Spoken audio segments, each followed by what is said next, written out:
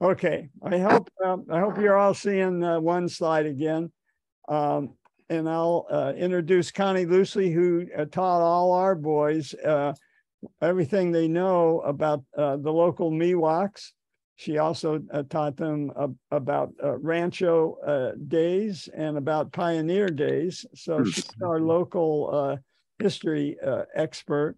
And we've um, uh, reached the point where uh, David Clinnick uh, got us to the Vasco Caves, and now we're we're up to just uh, before the Spaniards arrived. And Connie's going to uh, uh, tell us about the the Miwoks. She um, uh, studied California history while her husband Al Loosli was doing his internship down in in L.A and has uh, uh, built on that uh, uh, over uh, the years, worked at the uh, Alexander Lindsay Museum uh, along the way.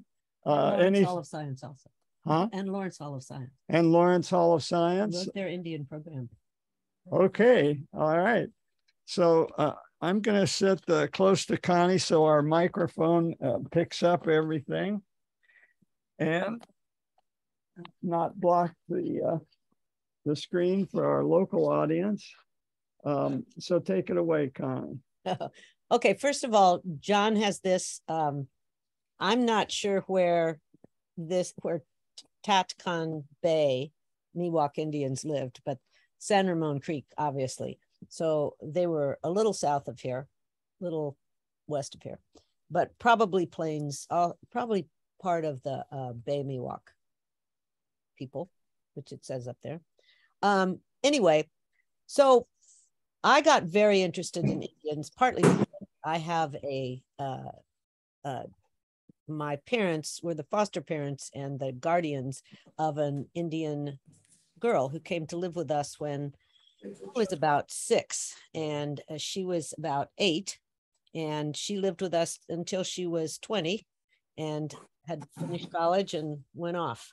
And uh, she was a Chickasaw from Oklahoma, part of the Cherokee Nation, um, part of the uh, Trail of Tears, and uh, she was very helpful when I uh, I was just fascinated by her whole stories and all the things she told me and the all of the myths she told me. And she had only she was in an orphanage but she had learned a lot and then she studied it later herself she's the one who told me by the way that not all indians like to be called native americans.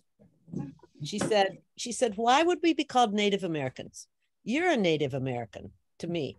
You're born in america. What other are you native of? You know? She said we are american indians. We like being called american indians. We are american indians because that was what we were first called when they came here and it really meant natives. So she said i like american indians. So i seldom refer to them as uh, native americans. I asked her this when i was about to do a thing called indian days for all the fourth graders in the walnut creek school district. I thought can i call it indian days? Because people were saying you can't call this indian days. And i said okay. So i talked to her it was indian days from then on. No problem. Nobody gave me any trouble.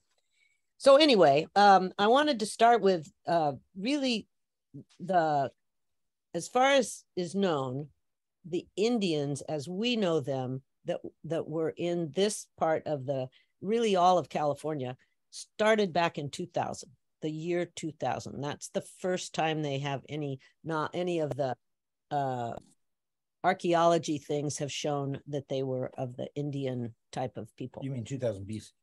2000 bc yes Okay. 2000 Yeah. years ago.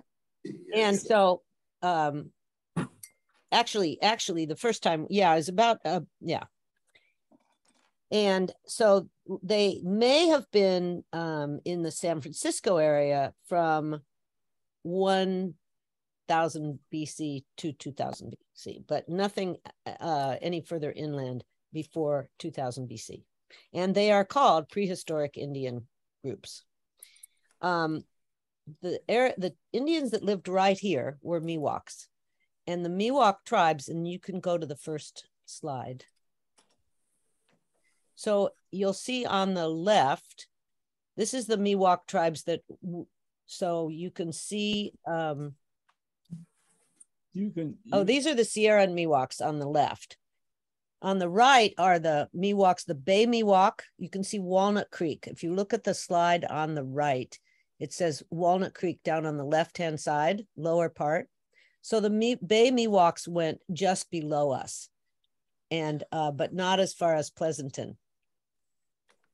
And, and, and on up all the way to Sacramento and on up into, they were then, and, but the, was the me the Bay Miwoks, and then it was the Plains Miwoks. And the Plains Miwoks were pretty much in the Delta area, and um, the Bay Miwoks were, were kind of outside the Delta area.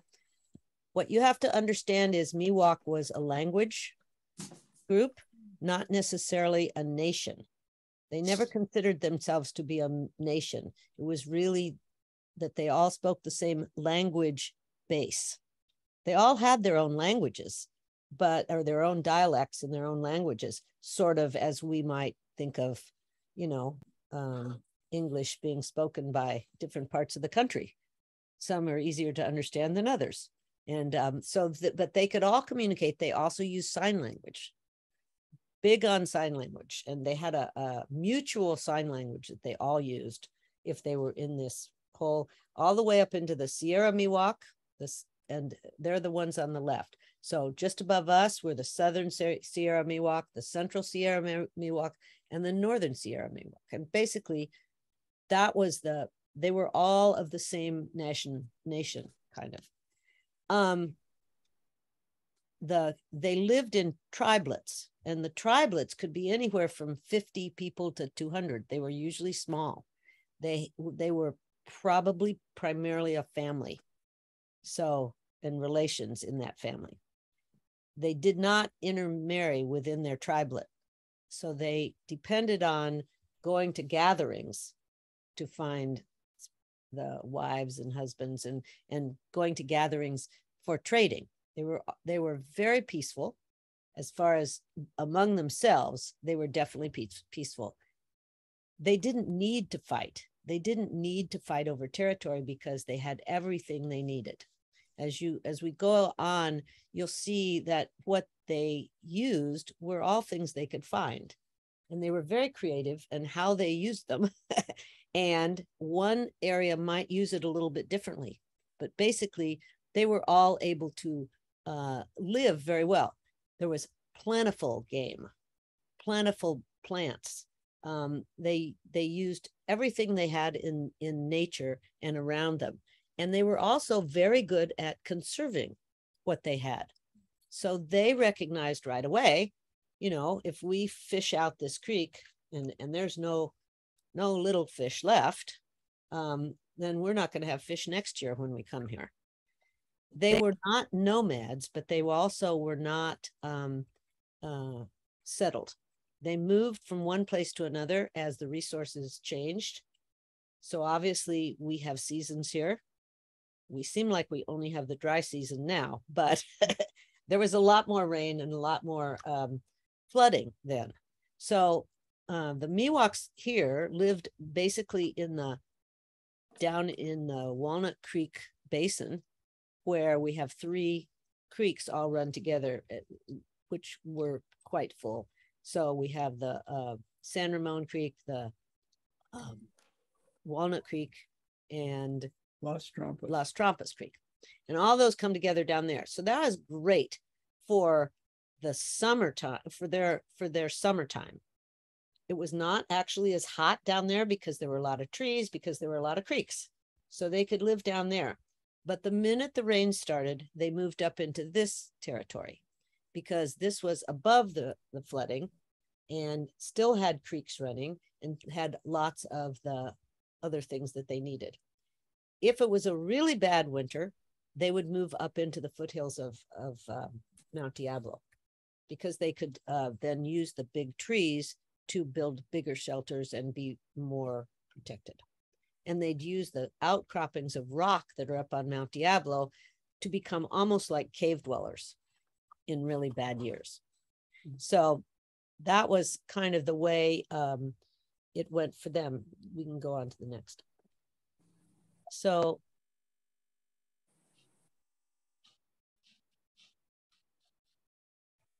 you can just go by this. I don't know how this works. He's there. Anyway, so so the next slide is going to be show you the Miwok. Um, oh, this is the uh, this is just a quick slide. This has the kind of the bay, Drake's Bay, and that area. That was a totally different kind of Indian, but I wanted to show that um, they they were um, the coastal Miwoks. So they also were in the same language zone as the ones up in here. They were uh, a very large tribe. The Miwoks, there were, they assume, and they have record of over a thousand tribelets. And the tribelets are small, as I said, but but then those tribelets, they have over a thousand actually records of those tribelets um, records are kind of funny when you're dealing with early on. Um, a lot of the population studies that they did were based on baptisms. Well, where could they get baptisms? Only at the mission.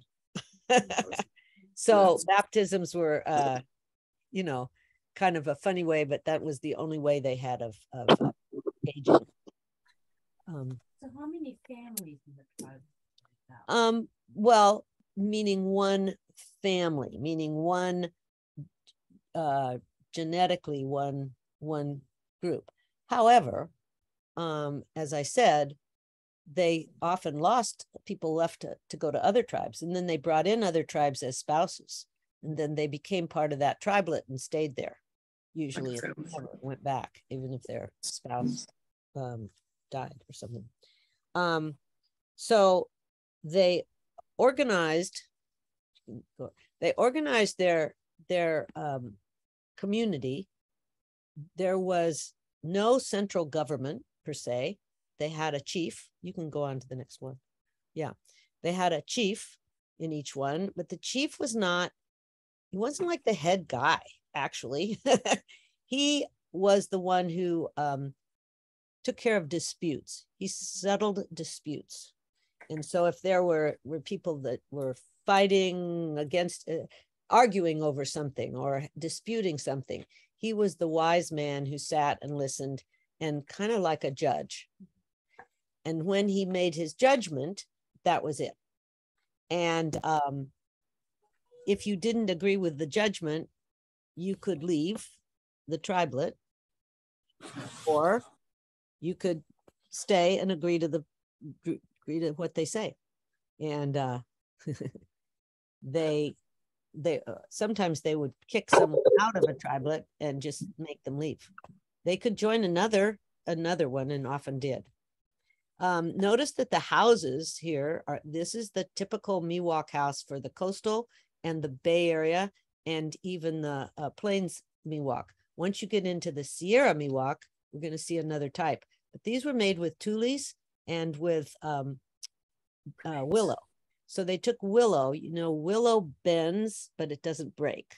And so they would make upside down baskets out of large willows. Willows were everywhere. They were all along every creek, every, but large trees, they didn't uh, have really good ways of getting, and they did not have a lot of straight trees. They had a lot of oaks. And, and we all know oaks are not known for being straight and uh, definitely not uh, able to bend. So these were and they were very waterproof because they would overlap their tules so that the rain hit the top and went down the sides. They had a, an opening in the top where the uh, smoke could go out, but it was also covered with tules that would take the rain away. And if it started dripping inside, they put a new layer of tules on top and filled their and patched it all up. Um, a family of maybe six or seven might live in a in a that upside down basket there.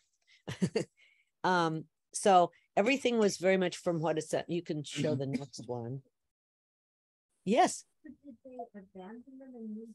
Remove? Yes, they, uh, so, so one of the reasons it's been hard for archaeologists to make a lot of studies is that what they made, they would just abandon and um, they would fall apart and become part of the, you know, soil and everything. So it was hard. They did not, they didn't use bowls.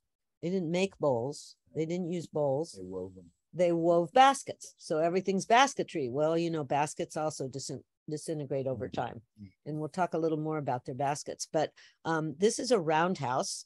Roundhouse is like their um, ceremonial house. So though they moved around, each tribelet had a settlement. The settlement is where they had their roundhouse. They had maybe some uh the by the way the the upside down houses were called wowies. So their wowies um might have a wowie or two but it wasn't someplace where people stayed but this is where they would come together. Um their tribelet would gather here in the uh roundhouses and you can go the roundhouses are are also they're dirt on top of a wooden structure that's underneath and covered with uh, again grasses and they allowed stuff to grow on it so it became even more uh, solid. Okay so let's go to in this is the interior of a roundhouse. So you can tell they did a lot of work to make the interior of a roundhouse. The walls quote unquote walls you see there are are uh, the clay mud which we all as gardeners around here struggle with but they loved it evidently. Um, they also would go um, further toward uh, up toward Davis area when they were trading, and they would trade for the mud that came from there because that was a stronger clay. And so they used clay a lot, and they baked it in the sun. They baked it in. Um, they'd put straw with it, and they'd bake it in in the sun to to become hard enough to put on the walls. Um, so you can see, and this would be where they would gather. They gathered here for ceremonies. They gathered here for uh, celebrations, for meetings, for big storms, um, and if there were intruders or danger that they felt they needed to be hidden, most roundhouses were pretty well hidden. Uh, so, okay, the next one. Um, this, on the other hand, is a Sierra Miwok building, and you can see totally different, using totally different materials. And obviously, you have to realize that they used whatever they had. and that was why they were so amazing at how uh, well they managed to make their communities last and um, how well they did. Okay. Let's keep on going. So they used, as I said, what they had. Their main source of food was acorns. And when they'd go to trading with other places, like they had to go north to trade for obsidian up near um, up near Shasta or or St. Helena or something, and they would bring the obsidian down. Many of us here in this area ha- find obsidian in our backyards. We find hidden obsidian in the open space. It's all been imported. it's I thought- I imported, thought Some came from the east side too. uh, maybe from the east side also Yeah, but- but not from, Not here, yeah. everybody thought Mount Diablo was a, had been in a- a volcano and not true. Hmm. It's totally Yeah. push up. So, uh, anyway, acorn granaries. So acorns were what they could take from here and trade because we had all the oak, all the types of oak, the best kinds of oak, the blue oak, the um, valley oak, the um, there's about six, seven different kinds of oak, and they would separate them and divide them up like if you were a, at a farmer's market and you had the different kinds of peaches or you had different kinds of whatever, Mhm. and they'd bring those to uh, the the trading areas when they went to trade, Mhm. and uh, that was their big uh, source of, of that they could provide. When they gathered, they gather. It was easy to gather acorns. They just either had kids climb up in the in the tree and shake the branches, or um, they just gathered around the bottom and waited till they fell. Um, so they were easy to gather. They would gather as many as they could, obviously, when it's acorn season. And then they would save them in these granaries. The granaries have an, an interior that is a is a stick, or actually usually two or three or four. And, and it has a, around the centerpiece where the where the acorns are stored, it has uh, bay laurel usually that keeps the insects out. Um, and then it has other kinds of of plants that will keep animals out. But they had to keep restoring that because there were certain plants that animals didn't want to didn't want to mess with. Because obviously that would be the people the the uh, that would be who they had to worry about thieves being being animals that got in there. And they would save them and, and use them for everything. They used them for starting out they used them for acorn mush. And acorn mush had to be prepared by first breaking open the acorns and getting the nuts out then they they ground them and one of the few things that that we find around and that we can use as archaeology are the grinding holes. Mm-hmm. And grinding holes are just because we have primarily sandstone here. We also have a little limestone and a few other things, but like granite, which we also have in our mountains here, granite is not good for making a grinding hole out of because it doesn't make a hole. It chips off in pieces. So you mm. need something like like sandstone or something that as you grind, it makes the hole. You can imagine, and this is just a an aside, that as you ground the acorns, you also ended up with a little bit of sand in there. And so they ate a lot of sand in their acorn mush and in their acorn products. Um, it was one reason why the elderly uh, ate primarily acorn mush and only the intestines of the animals because they didn't have any teeth. A major problem for health. they had gro- ground down a lot of their teeth. Yeah. So uh, they, and when I say elderly, I think elderly was probably about 45 Yeah. Yeah. you know uh, um, so that i mean they don't have ages of how how long people lived or anything at least not that i've seen. I'm sure there's something a little bit better but um but really they talk about the the young they talk about the very young the young the mature and the elderly. So i'm guessing elderly is about 45 Mhm. and so anyway, acorns, once you'd ground them down, then you had to leach out the tannic acid, which is uh, very bitter and um, I guess could even make you sick probably if you didn't get it out. So they would have their basket and and they would put it in their basket and they would pour water through it, hot hot water. Now, hot water, how do you get hot water? Hot water when it's a basket you can't put a basket on the rocks. You have to take your stones, put those stones in the fire, and your stones get really hot. You have a basket and you put your stone inside the water that's in your basket. They did make baskets that were waterproof, or at least somewhat waterproof. They made their very tight woven baskets, and then they put a coating of the our clay soil here and then they put um, the root of um, the um, shoot. Oh the the so, well soaproot no soaproot wasn't used for this one but the root of one of the plants i'll think of it. Um anyway they they put uh that they mixed that they they uh had that and that would form a very hard coating almost like a shellac kind of thing on the inside which would help to make these baskets waterproof. They fill them with the water they take their hot stones and put them in stir the hot stones around until the water gets really nice and hot. They pour it through the basket that's loosely loosely woven and uh, that the water can sieve, sift through. And that's one leaching. They had to be leached about five or six times. Get them clear.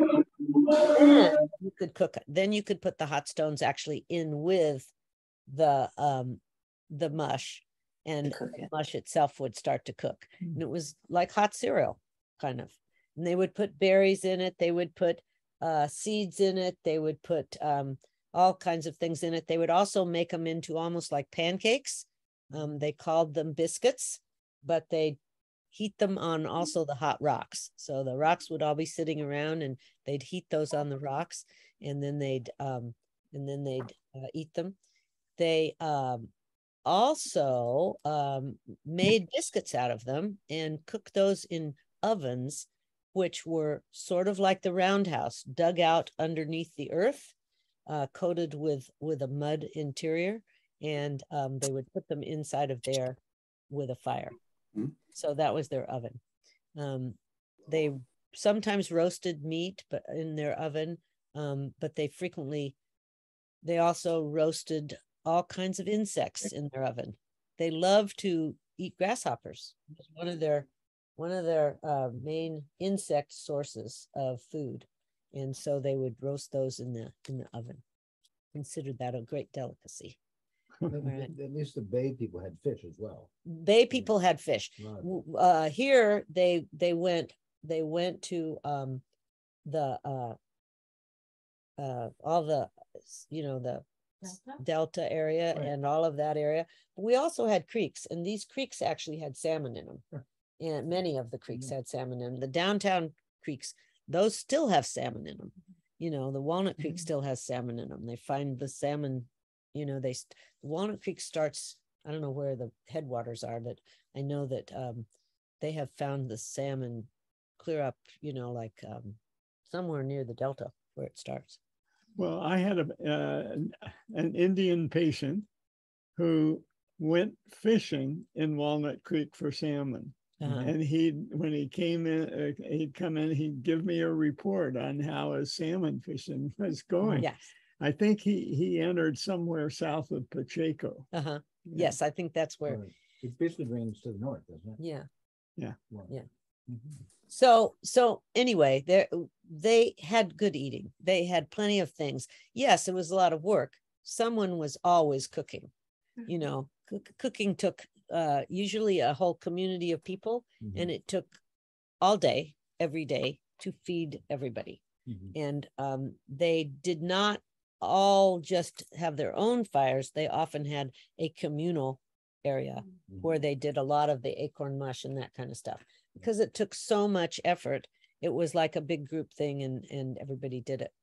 So along with that i will say that when children were young we they were not just taught like yes of course boys were taught to hunt and to fish but they were also taught to cook and to prepare all the cooking. And um, women were not just taught to cook and to put clothing together. Um, they were also taught to hunt and they were also taught to fish because as a community when some when a group went to trade went off to trade it often took many of the men and some of the women and the rest of the the uh, and the men had to do their own prep preparation. at- when they were on the trail and when they were at the ceremonial areas. So they, they were all trained in in everything. Um, unlike some some places where they're only trained people are only trained for the thing that they're going to do. And they did have specialties. There were specialties. People were better at making the arrowheads. They were specialties. There were people who were in charge of the cooking. So i told you there was a chief. There were also two head women and the head women actually ran the camp. They basically took care of all of the one of the women was considered the um i call her the dance master. She was in charge of all ceremonial dances and the all the clothing for the ceremonial dances all the planning for it you know. Um the other head woman was basically in charge of making sure there was plenty of food and if there was more need of more something she would send a group out to get it men or women um, and so they really and it was uh, uh, as i said they didn't have a and they would have a a gathering and m- much was done by by what you can call you could call democracy. They definitely voted on a lot of things and uh, chose things together. Okay. Um, okay, next. So one of the things that the Miwoks did was they tattooed Mhm. and they um, tattooed themselves. Not um, the the one on the right is is a little more like what I saw in most of the things about the um, Bay Miwoks and the Plains Miwoks. The one on the left is a little more like the Sierra Miwok. They had a little more decoration on the cheek and up. Generally, for the um, Miwoks around here, it was all on the chin and lower cheekbone, maybe under the cheekbone. And and those signs, their their tattooing was not just decoration. It was meant to show what they were, who they were. It told their status in the tribe or in the tribelet. It told their uh, specialty if they were a uh, if they made, you know, if they're if the uh, arrowheads were their specialty, if building homes were their he- specialty, if hunting was their specialty, if fishing was their specialty, if um, they were a head woman or a headman. So so their status. Oh, if they were married and not married, so that it was very much uh, and and one of the for the young men, they had a tat they had a tattoo and when they got married, they had another tattoo that went on top of the old tattoo Oh. that showed that they were now taken. They it was very important that they not mess around. they would get kicked out of the tribelet. Mhm. So that was um so okay, we can go on. Yeah, this one also shows you uh these are these are Bay Miwoks right there that have been. Now you notice around the neck of the one on the left side, um, there is also some tattooing. And tattooing was done to other parts of the body also, uh, but it was decorative. Hmm. They might make a, re- a bracelet or a wrist tattoo. They might make a. Now the tattooing was done by cutting, and then they took the roots of the poison oak, and the the roots of the poison oak, Hmm. when ground up, produce a black dye, and they would use that. And that it is understood that they also ate the berries of poison oak and they um, used poison oak in other things the the the big debate that's gone on forever and will never be solved is whether they uh, fed because they were not allergic to poison oak because they fed their babies things like that from the very beginning. Mhm. um, or was it because there was something genetic about it and they just weren't allergic to poison oak? Mm. like 90% of the rest of us are. Fifty, 50% fifty percent, oh okay. About fifty percent if you take it. so that's what that's what um so they used that poison oak a lot. Hmm. okay. I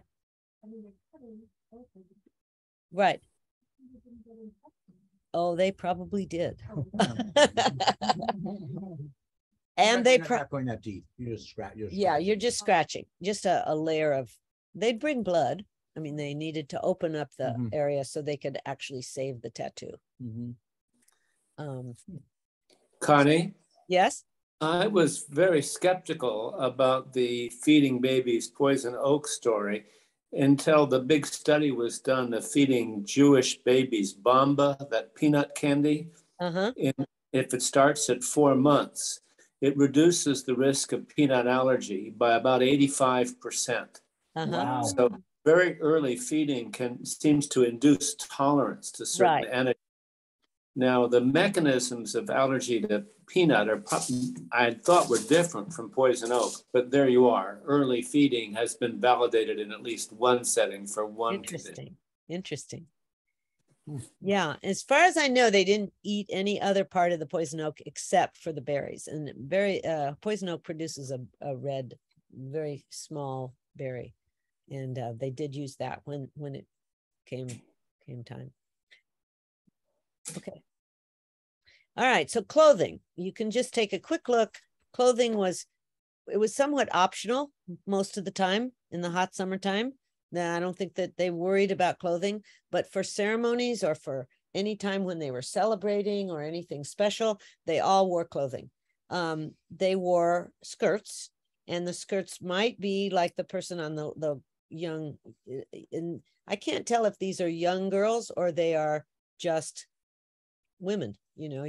But anyway, they would wear uh, skins, or they would wear grass, different kinds of grass, and you can tell there's lots of grasses. The necklaces primarily were some shells. Shells were very valuable because they had to trade for shells, because really they didn't have shells in in our uh, area. Um, now the whole delta is full of little clamshells, but those little clamshells were not native here originally, so they don't think they had shells. That they, but they do would go definitely to the coast and trade. They would go um, all over the place, and they're they found shells everywhere. Right, So Like Shell Mound is a massive pile of yes, shells, so. well, they would go and trade for the oysters and they Lots of the ones in Mullet. you know, abalones and all the This one were So, so anyway, you can, um, okay. Baby mugs. Uh, So this is typical of the type of jewelry they wore and notice that a lot of it is knots and knots made in grasses. And then they would sometimes take colorful grass, grasses or flowers or whatever and put them in there. Or on the right is actually a grass necklace with different pieces of rock in it.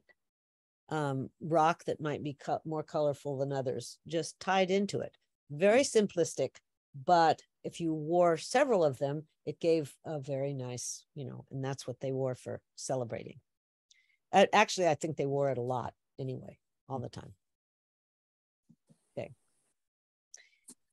Sopret root. Soaproot was another one that was like acorns that was used all the time. Soaproot it actually grows right now everywhere. It's quite wild out in the open space. Mhm. And the uh the the soaproot is a bulb. If you dig up the soaproot, it looks like an onion, uh, kind of a sometimes a pretty big onion. And um, the and right above the onion, I'm going to try to get on court. So if it's an onion, and then right above the onion, there are bristles that are that come out. And when you first dig up a soaproot, you go, oh, these bristles must be thrown away. No, no, they use them for every kind of brush you can imagine. Um, they are tough, but not not uh, prickly or pointy. Mhm. they don't scratch, but they are stiff enough to be made for brushes. They had to brush out when they ground the acorns, um, and they gather up the acorn grindings and put them in their mush. Then they had to brush out because the sand would then start to accumulate. So they were always brushing out their sand. They had to brush out the um, furs that they got would get full of burrs and stuff. They brushed those out. Um, they used these for everything. They did not use these um, primarily for their hair, though. They're not quite tough enough for hair. There's another um, thistle actually out in the open space that um, they would use that couldn't be put together, and that was that was their hairbrushes, the thistles from the open space, um, from the wow. So these these were the top. Then the soaproot would be peeled, and soaproot was used for several things. First of all, it's a it's a poison, um, and without knowing it, it can make someone very sick. Probably would not kill them, but make them very sick. It also was used in ponds. They'd throw it into a pond, um, and that stunned the fish. Its toxin stuns the fish. The fish float up to the top. They go into the pond. They gather up the big fish. It only lasts for a few minutes. The small fish can swim away. So it was one way they were able to fish without gathering up the babies and the smaller fish. They were very aware of the fact that, especially ponds that were out in in our area, like in in the areas that were not in a river, that they were enclosed and that they would um, uh, only provide what they had, you know, and if you took the small fish, they weren't going to provide anything the next year. So they were pretty good at conservation. Was just part of life. They, Yes. they, they cut open the root and throw it in? Yeah, they just peeled it off. You could peel off parts of it. When you get to the interior, you have to break it or smash it. So they would smash it like this, and then that released the toxins, and they'd toss it in, and the fish would float up to the top. Um, fishing was fishing was quite an art, and they had many different ways of fishing. This was one way of fishing in small ponds. They used nets. They used um, hook and lines for certain kinds of fish. They even they fished for sturgeon, quite large stur- sturgeon, and they would get those on a hook and line. But once they'd caught it, then someone had to go in and and capture it. It was too strong for what they had and would pull away. So once they got it, then a whole group of people would go in and and grab it and wrestle it to the ground to the up to the land. Huh. um so but they had they could weave they would uh braid uh different kinds of grasses and stuff to make their lines. Different kinds of uh fibers they could by weaving make them pretty strong. And that's how they also did their baskets. They would first weave the grasses and then they could they could do a, a very intricate uh, job of of starting at the base and making so when i did the indian days i always loved it because the kids all wanted to make baskets and i'd say great let's do it. And so one of the one of the activities was to make a basket and they the biggest basket that i ever managed to make was about this big around. And it took me about a month of working on it in front of TV a lot. So the kids would make the base of their basket and it would maybe be about this bigger by the size of a quarter. And they were so excited, but they would take take all kinds of stuff home with them to finish it at home. I never saw any finished baskets, but but anyway, they did get really into it. I was totally amazed. Um, and they were a coil basket, so they would coil and it would coil around, and but then they wove also in between the coils so that the coils would all st- stay together better. All right, next. Okay, these are typical tools, and um, I won't go through all of the tools, but but all the tools are very all natural stuff. Um, at the bottom center is a an obsidian arrowhead or spearhead. It's hard to tell the size of it. So And- and to the right, there's two more that are for different types of things. So each one had its own use. And they had them for birds. They made tiny little arrowheads that were quite beautiful uh, for birds also. Um, and they they actually were able to use a lot of and then they so this one the big one was probably for a spear and typical you can see the two standing up there um uh b what's that a and b? Um you see how they split and then they put the the arrowhead or the uh whatever it was in the top of it. I these are actually just used these are cutting tools. They would be used at the uh in the kitchen Mhm. um for cutting and for that kind of thing. A and B would be cutting tools because what they would do with the arrows would be much smaller, much straighter, and they would take them and work them for a long time over a fire to make them straight and to make them tougher.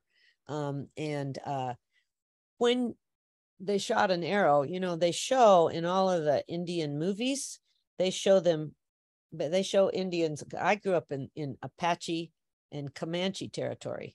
And so that's where they would ride on horses and shoot their arrows at the wagon trains that came. I'm from Missouri, so came from Independence and got shot at across Kansas. So anyway, uh, they show them shooting the arrows, shooting the arrows. But I guarantee you, they went back and gathered as many of those arrows as they could because they worked hard on every arrow. An arrow maker was very, very important because an arrow had to be straight It had to have no notches on it so that as it went through the the bow, um, it didn't it didn't catch, and it had to um, be tough, you know, because you and you didn't just shoot a lot of arrows uh, out and not and not go gather them. so they'd go find it if they could, and they'd clean it up and use it again if they got something. Anyway, so you can also see um, the uh, up to the right on uh, the X, the one that's X. That's probably it's hard for me to tell exactly what it is, but it's leather of some kind. It's leather that's been cured and taken care of, probably clothing. Probably guessing. papoose. What? I would think it'd be papoose for carrying that. Yeah, baby. possibly a papoose, exactly. And then um down uh in the middle there where the uh you want to do the this part right here. Yeah, uh this part, these are uh grinding. These are uh what they would use use. They used also rock for grinding, though the rocks they used were usually not sandstone stone. Those were usually of some other type and they would chisel them away. These are really well rounded. That means they've been used a lot because they started out not being, sometimes they were even square when they started with them. Um, and then these are are more typical of what they use use, you know, but they use it. This is what you make corn out of too, you know. So anyway, uh then to the left where it says D, this one up here, that's actually shells, or not shells, seeds. And this is the the stalk that's they're on. This would be a dance a tool for or a shaker of some kind What do you think? for ceremonies, for dancing.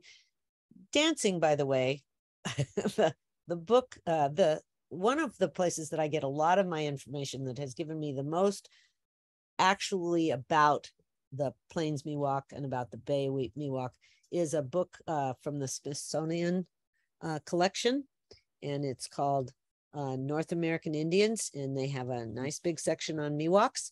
And um, one of the things they say is that Miwoks love to dance. They loved to dance. They danced. If someone died, they danced. If someone didn't die, they danced. if um, someone got well from something, they would dance to celebrate it. If someone didn't get well, they danced to, mourn it. But na- dancing was super important to them. They danced to meet other people. So when they'd have big ceremony, big uh, gathering for trading, and uh, many tribes would come together, tribelets would come together. Dancing was a big important way that they. I mean, that's not that far off from from now. you know, dancing is a way to meet people, and uh, that was kind of one of the the ways they would meet other eligible people. Um, and they wore their their uh, singleness right on their chin, and so you know they were looking for for people. Um, so anyway, uh, the these are all tools you can sell. See, they're all natural things that have come from from nature, from what they have. It's very complicated. It's under the um leather. Oh, uh, yes, W. I'm not sure. I can't tell from here what that is. My guess is that it's one of the nets that they used nets for many things. They used nets for catching birds. Mhm. They used nets for catching um, fish. They made a lot of nets, and that it's you can't really tell, uh, but I'm guessing that's a net. They one of my uh, most interesting one was uh, so deer were plentiful, and they were the biggest amount of meat you could get from one hunt. The next biggest, the next most prolific with meat is is rabbit Mhm. rabbit bones are very small and rabbit fat is very big so and rabbit fur is very valuable. So they would have um, they would go hunting. Sometimes the entire village or the entire tribelet would go hunting for rabbit. And um, they would make a net that was maybe a hundred yards. Some say maybe even as much as 200 yards but i don't know you know but anyway. And they would have people all along this net holding this net and they would make it into a kind of a semicircle. And then they would send especially children, out into the, uh, you know, brush and into the grasses and into the forest, and they would flush the rabbits out and get the rabbits um, to the uh, to the nets. And then there was always the clubbers, and they were usually the young men, and they would go in and club the rabbits. Hmm. And then they would all prepare the rabbit fur and the rabbit meat, and the, they'd do it together. So rabbits were were very much a, a part of their entire tribe. Tribelet would work together on it. Yeah. This is a bamboo whistle. Oh, it's a whistle. Bamboo double Oh. whistle was burned in design. Oh, okay. I'm wrong.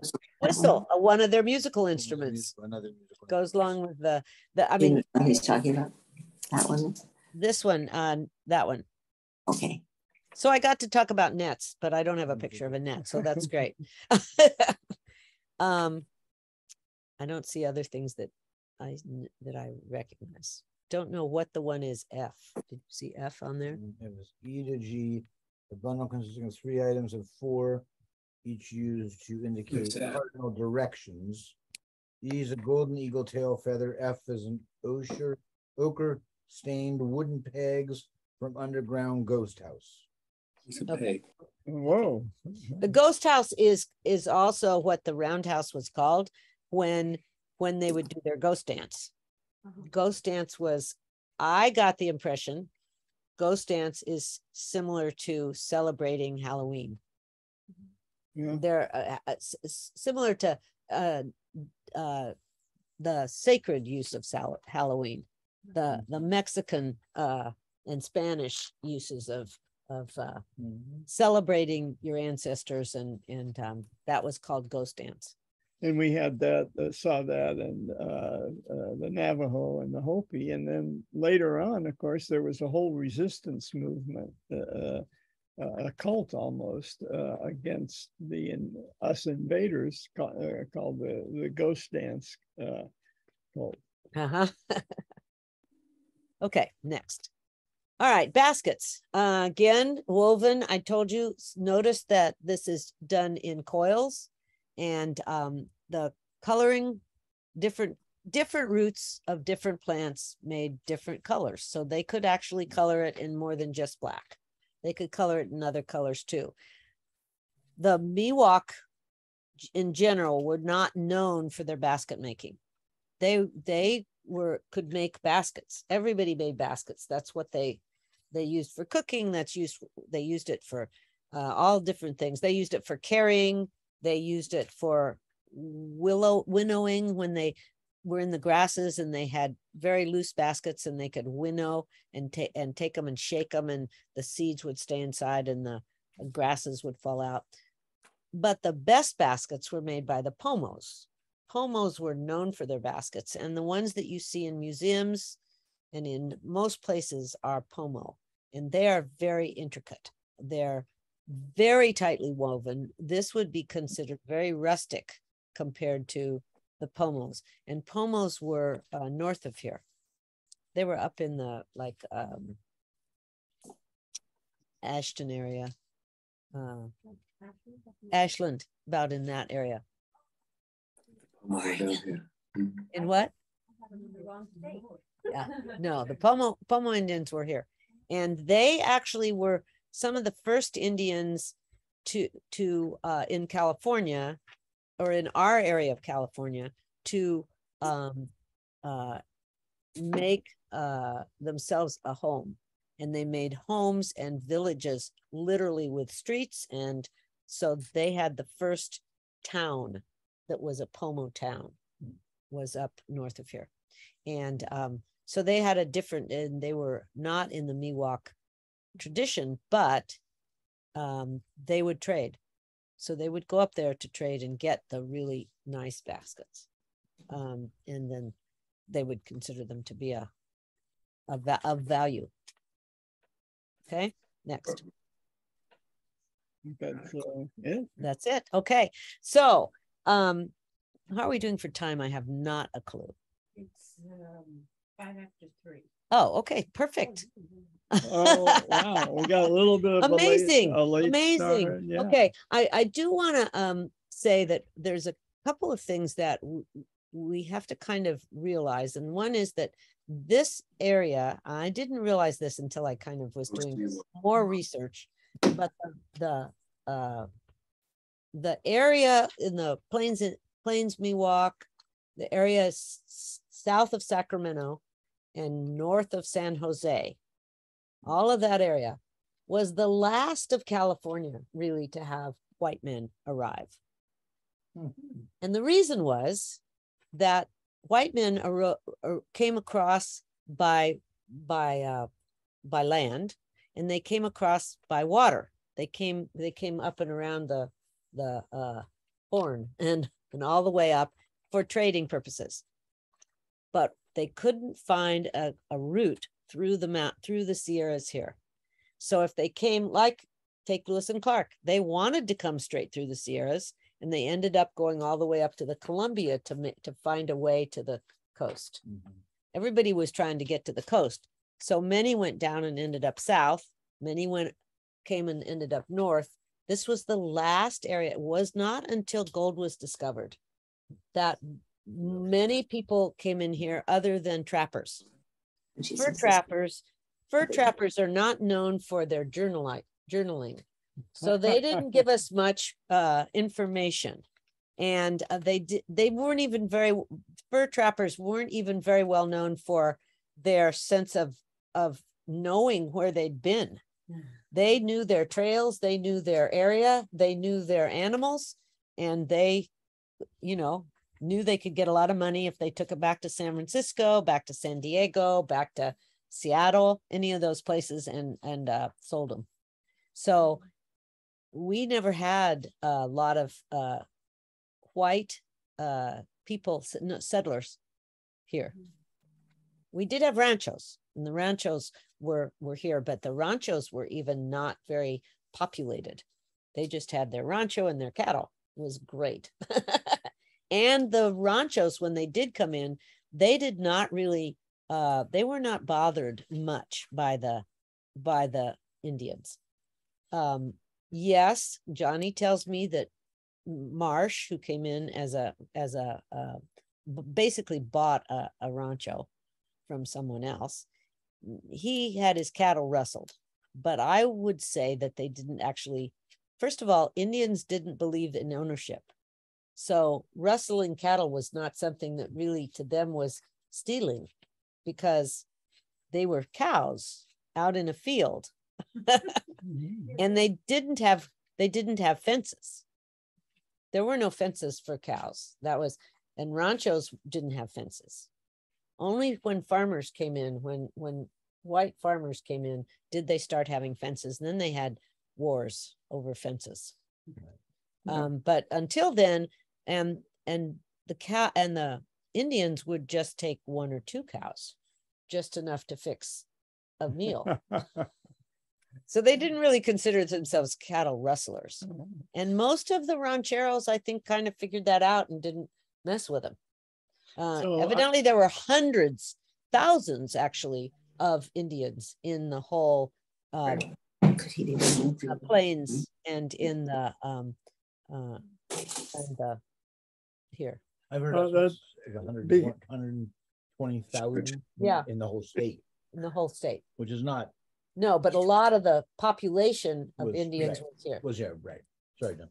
So, yeah, no, uh, uh, Connie mentioned uh, John Marsh, and because we have a, a, a semi-medical audience here, he, he was not a doctor, but he pretended to be one.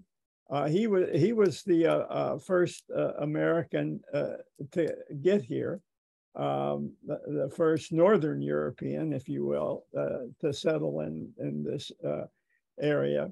And he had been a fugitive that fled from Minnesota. He was a gun runner for for Native Americans, but he had apprenticed with a surgeon in the army in Minnesota, and he he came he came here, uh, hung out his shingle in Los Angeles, collected his uh, stake, and bought this rancho in the eastern part of the county near Brentwood. Mhm. And um, the interesting thing about him, he bought it sight unseen And he got it for a cheap price. And the reason he got it for a cheap price is that the Native Americans that lived on the Delta were hostile to the previous owner, a guy named Noriega. And so John Marsh uh, got here and decided to go out and confront the, the uh, Native American, the Indians, excuse me, the uh, Miwoks, and uh, said, you what, uh, don't rustle in it, these cattle anymore. And he, he discovered that they were suffering from a disease that the uh, Spaniards uh, brought in, uh, malaria. And he saw uh, uh, uh, Indians shaking on the ground. He figured that he'd bring some quinine in, and he did, and he ingratiated himself uh, to, to the Indians. Uh, he was at the right place at the right time for the gold rush and put all the cattle that he had on flatboats and uh, made a, million dollars uh, and built this big uh, mansion in uh, near Brentwood that's going to be a state park someday. so, speaking of a doctor, I did not mention the medical situation of these um, of the Miwoks. They did not have. They did have a shaman, but the shaman really was about blessing things and about um, um, teaching. He, the shaman was the person who taught others how to pick out medicines and so forth there were many doctors in a tribelet. There were those that were responsible for um, like fevers. There were those that were responsible for, and they would learn from the shaman what what roots and what plants and what medicine to take and that kind of thing. Mm-hmm. Um, there were only really two things that, I mean, obviously infection had to be something that that mm-hmm. happened a lot. They also had uh, illnesses of different kinds. Um, and until the missions came in, they really didn't have a lot of the uh, big, big illnesses, but they, and the Miwok, by the way, were taken to the San Jose mission. Many of the, especially the Bolbones, the B O L B O N E S, that lived here, right here, the tribelet that went from up here down to Walnut Creek and back up here, they um, were taken into the San Jose mission, but they escaped. All of them worked together and they all escaped.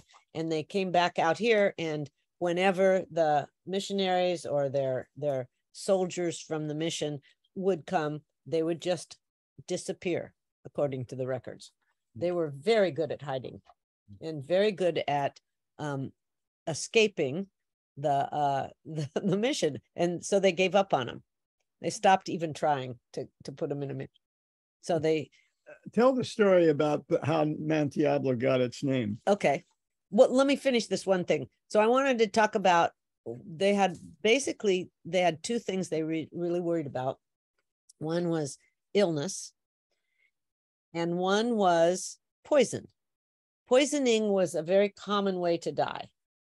And poisoning could be done just by accident because they picked the wrong berries. Or there was a lot of experimentation going on obviously. They had to eat all the, they ate everything. They ate stalks of things. They had berries of things roots of things and some things you couldn't eat the root because it was poisonous but you could eat the berries.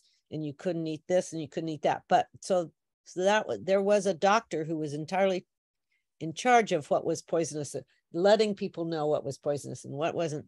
But also poisoning was the way that they took care of anybody that they didn't want in their tribe or in their family or in their if they if there was a dispute and the shaman determined the dispute and the and somebody didn't wouldn't go along with it and they wouldn't leave the tribe leave then they would eventually within not very long be poisoned by somebody because they would hire someone within the tribe to actually poison them. So that was one of their ways of getting rid of, yeah, here's your job. You're in charge of poison. That's, but that was right. poisoner, special poisoner. Anyway, so that was, that was really, well, so Mount Diablo is a is a uh, one of one kind of an interesting one because um so the the last of the Bolbones, the last of the of the Miwoks, um, when after having died of famine or not famine, they never died of famine. They always had food, but having uh, died of uh, different diseases brought in by the missions, and uh, then the soldiers the from the cavalry finally after the cavalry decided that we got to get rid of these indians and they would put them into into the missions. Well the bolbones didn't want to be caught so they went up on mount diablo and they hid up on mount diablo. And um, they would have fires at night. And that was where it got its name mount diablo devil mountain because they were sure that the devil lived up there because if soldiers went up there, they seldom came back. Maybe they got poisoned. I don't know. they don't have any records of what happened to them. And they also don't have any real records of what happened to the last of the Bolbones after they were up there. Chances are very good that they went down the east side of Mount Diablo and uh, perhaps disappeared in with other tribes because there's the, there was never a a reservation. There was never anything like that. Most California tribes never got any land or any real uh, compensation for their where they were because they didn't believe in ownership. They didn't have territory, and therefore they didn't demand territory when they could have probably. So that they were pretty much left to There, scrounge for themselves. there are a few reservations up in Northern California. Yeah. The Yurok al- along the Klamath River, Yeah. their reservation is a half mile on either side of the Klamath uh, River, wherever the Klamath River decides to go. Right. And then there's, there's other smaller reservations up there. But you'll notice there's no reservations in the No, no Miwok reservations of any kind. Soldiers went I don't think that anybody went to search for them. Their mom wasn't saying, you know, I don't think they- they actually wanted to go up there. It was pretty, you know, treach pretty treacherous. Um, there besides being very dense forests, then the other parts are pretty pretty sheer rocks, a lot of sheer drops. So I don't think that there was a lot of effort made because really what they wanted to do was get them out of here, get them out of where the people wanted to settle. So once they disappeared, yeah, the prime land. They once they disappeared, nobody really worried about them very much, I think. anyway, so that's I- yes, uh-huh. So earlier when you were talking about suggestions, Yes. so is that a hereditary, was that, a, you know, meritocracy? No. Who gets to be a judge? No. From from what I understand, um, and from what is kind of written, um, they did not have anything that passed down because of who you were, because you were the son of the shaman. However, you were voted into that position. And um, so it was often, they might be a relative, but it wasn't because they were a relative. Because it was a big fam, I mean, it was primarily family that were in these tribelets. Mhm. They did not marry within their tribelet. They always married outside of their tribelet. Um, and they, uh, so they talk, so, so if they married out, was it the woman that then went on to the? to the woman went to the men's, yeah. the men? Okay. But- But there were two women who were. two, two head, two head women, yeah, the chief and two head women. And the two head women had, had their own jobs, yeah. Right. And then there was the shaman who who was the medicine man kind of, but he wasn't like considered to be the the he was the wise one. They Right. called him the wise one. like encyclopedia, the nature and things. Yes, yes. And he taught the young younger ones coming on. When the chief got old, old enough, they would the chief and the two head women would then train Hmm. someone that had been chosen to be the next chief. And they would train that person. And then when they got the person trained, the chief would uh, back out. And if he didn't back out, They hired someone to poison him. So uh, they took care of that easily. They didn't uh, didn't ever have a problem with. Yeah. Population man. Yes. Uh, right. Right. Okay, any uh, uh, Any questions questions? out, out in Zoom land? So I will say that they the there was a I I wanted to bring up one of our neighbors here participated in a dig, and uh, she she did an arch archaeology class at um, uh, DVC. And I was hoping that she would be available today, but she wasn't available. So uh, Diablo Valley College had an archaeology class. They did it out, if you know the area, it was out by Boundary Oaks um, Golf Course, um, just above Boundary Oaks, uh, actually right where the the police firing range is right now. and that's where the dig was. Mm. And the dig was there because there had been somebody on a hike had found a couple arrowheads and kind of things like that. And so that they got permits to to dig there. And they did, they was a great class. She loved the class. She learned all about everything. They didn't find very much. She called it detritus that they found, which is small pieces of things.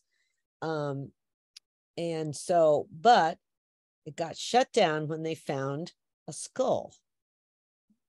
And they, the first people you have to call is the police. So the police have to come and they have to uh, determine. So they called in an archaeologist who had to determine the the the age of this skull, Right, and it came from about the year 2000 two thousand. BC. Yeah, the year 2000. I forget the. We're in 2000 Yeah. now. yeah, so the year 2000 BC, and um, so it was very old. And then the next person they have to call the Indian whatever. Euro Indian Affairs, Yes, yes. and the person who who came and i have met i have had a run-in with this very same person and he's mostly mexican actually he's he's got just a very small amount of indian in him but he has managed to get himself appointed to being the head guy Hmm. on all digs and all things he shut down a lot of things and uh he uh he calls himself Alon Ohlone. But when you look up Ohlone, it's not anywhere around here. Ohlone is a Costanoan language. So Costanoan languages are all on the coast, obviously, and they're actually north of the coastal Miwok. The coastal Miwok did not speak the same language as most of the Costanoan I languages. thought Costello was south. Coastal Noan, south is le- from- south, yeah. South. Yeah.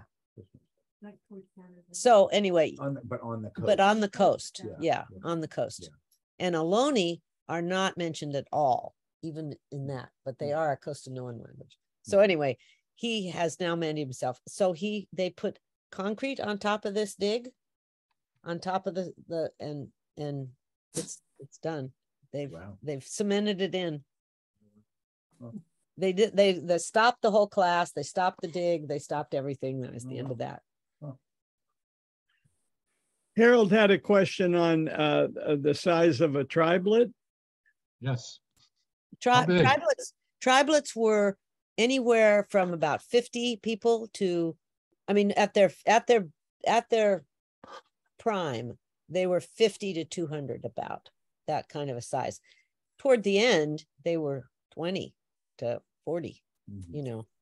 I mean, they got one, got killed off in different ways. In the case of Ishi, it went down to one. Yeah. Yes, When was the bounty put on, on, uh, uh, on, uh, indigenous peoples? Because it was like in eighteen. 1880. Seventies, eighties. I, I think They so. actually put a five dollar a head for the scalps. Yeah, that was the story. That's all in Ishi, the, the Yeah. details of, of that, along with that, that massacre on the island um, off of Eureka.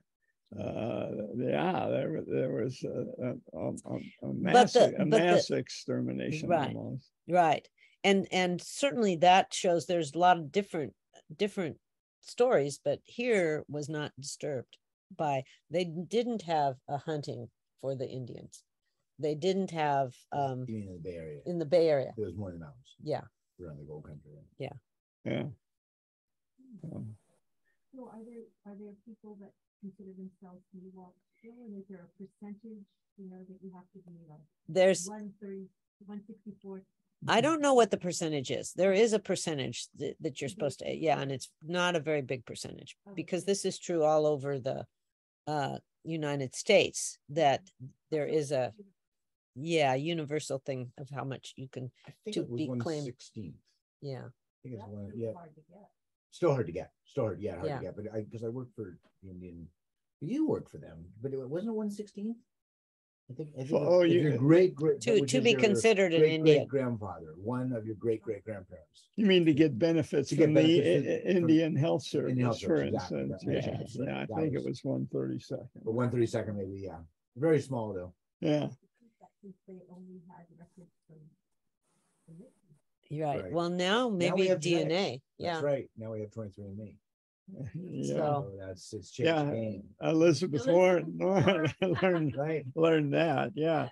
So, you know, the, the, the, uh, our local, uh, paleontologist who gave lectures three and four in the, in, in this series has to deal with, uh, uh, uh, this, this guy who holds Oh. himself to be the, Andrew. uh, Andrew, yeah, and, yeah, yeah, he mentions Andrew. And- No one loves Eric. And the biggest story Because he's of, uh, uh, Andrew, his biggest coup Egotist. Was very halting the building of the Emeryville shopping mall for For the shell mound. for for yeah for the shell mound Right. because they they discovered excavating the shell mound for the shopping center that there were uh, uh, burial sites which wa- was the uh, a practice right Mhm. and so uh, uh, this guy single-handedly uh, shut down a major multi-million dollar uh, development. And if you go uh, Em- to Emeryville to the mall, you will see part of the memorial that was that was the final agreement that you can have a memorial you can you can have your shopping mall but you've got to have this memorial in perpetuity and uh, I- you have to put flowers on there every every so often. So Wow. there's a flower shop in the Emeryville Mall. But, Good. yeah, So are the Indians happy with Andrew? And what he's doing? I don't know any Indians who actually know Andrew. Right, wow. Andrew doesn't live, he, he, he lives in Moraga. Mm. So he's not, um, he's quite wealthy. Oh, is he? Yes. Yep. He makes a lot of money with, I uh, think then that there would be Indians who would be available to do digs then because, you know, they're, it is their people. in Right. some Way. But I think they, they don't, they don't want them dug up. I mean, the Indian is, once they're in the ground, they're part of the earth. So you Yeah. don't bring them back out, Right. is part of my understanding of. yeah. So they, that may be why there's cement cap, Mhm. you know.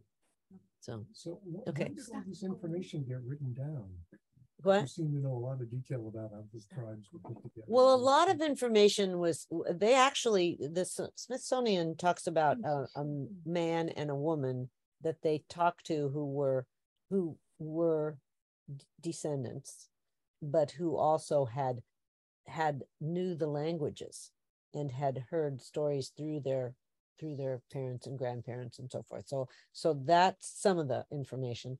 A lot of the information was also trappers did talk about things Mhm. and uh and then a lot of uh once the the white explorers were here there were still indians here and they did do a lot of talking to them about how they did things and so forth so Ishi.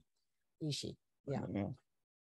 so there are a few that survived and and hung Mhm. in there and gave information One, there have been, I know, revisions of how long people have been here. hmm I'm, I'm, I'm reading Kim um, Carlson Richardson's book about the High Sierra, and he has a whole chapter, and he talks about that they used to think it was only a few thousand years, but now there's evidence that they may have come back. And I don't, I don't, I read, I don't know if it's here, but certainly in the Clovis find was Mhm. is about thirteen thousand years Mhm. ago.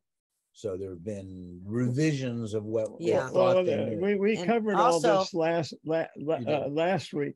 So the, the first, the, were, were the paleo, uh, coastal, uh, culture. Right. And then um, the uh, Clovis came in much later. Um, like the Clovis came in early to New Mexico, but they never came across to California Right. until maybe 10,000 years ago. You know, we have uh, Vas- Vasco Caves in the eastern Yeah, yeah, part. Ben. That's 8,000. right, Okay. yeah, So that's 8,000. eight thousand and, Okay. and so uh, you kind of work your way I down. thought and was- Yeah, so, Yeah, we got two thousand here. So I want to thank Connie. Uh, for- Thank you. uh, uh, And uh, I- unless there's a burning issue, I'm going to stop recording and then we can uh, uh, have informal chatter. Speak now. Gone. Goodbye, everybody.